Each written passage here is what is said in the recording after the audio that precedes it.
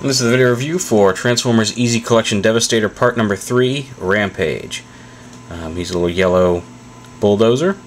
Um, only the wheels are the articulation. You can kind of move this down if you want, but it's you can't display him. So, there's that. Um, transformation. I'm going to split his treads apart and bring them up like this just the top part of the tread and then bring this up onto the shoulder. Just like that.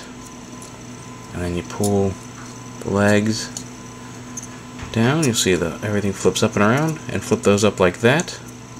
And then flip his head up. And there you have Rampage in robot mode.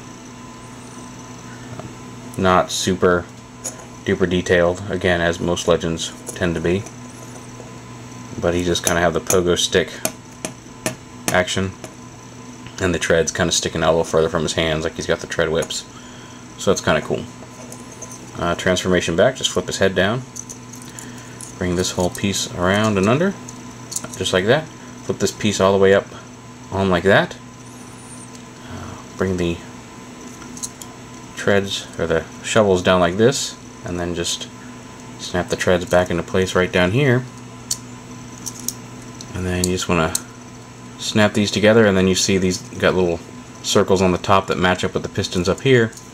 And he's back in bulldozer mode. So there you have it.